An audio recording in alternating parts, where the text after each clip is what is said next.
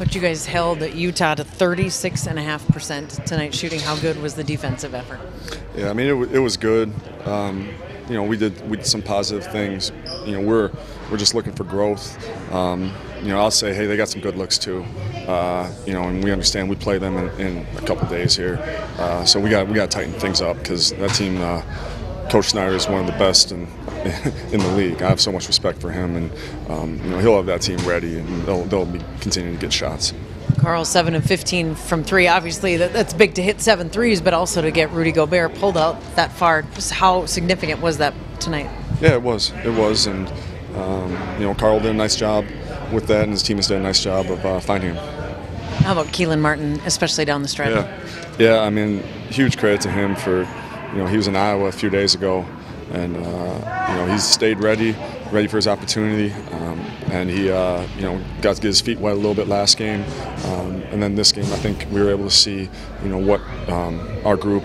Um, so huge credit to Gersson and, and, the front office this summer in, in that find because he definitely helped us win the game. Given how good Gobert is inside, was that kind of the game plan with Karl? Like if he gives you room to shoot it, take it. Yeah, yeah. We, uh, you know, Karl's Karl's a talent that can play inside and out.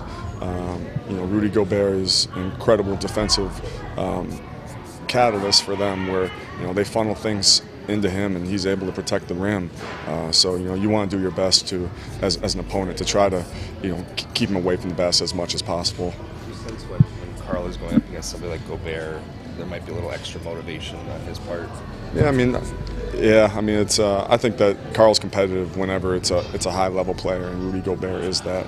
He's competitive in general, but you know, Rudy Gobert is an elite um, center in this league. Uh, so you know, that'd be a question for Cap. Kelan, you know, was struggled with his shot initially when he came up here. Did you sense that he was, you know, did you have to build up his confidence, or was he is he kind of just a shooter and he? He's a sh- he's a shooter. He's a shooter. You know, there's, you know, our group. We're, we're always a confident group.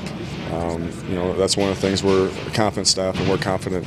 Um, you know, group of guys. But the confidence comes from each other. You know, it's not it's not at all an air about any individual in there. It's because teammates generally genuinely want the other teammate to do do well, and so guys have definitely helped Kelan too. But it's a big credit to him. How much of a lift just is this win in general? No Andrew, you lost the last two, coming into a tough place to play against a tough team.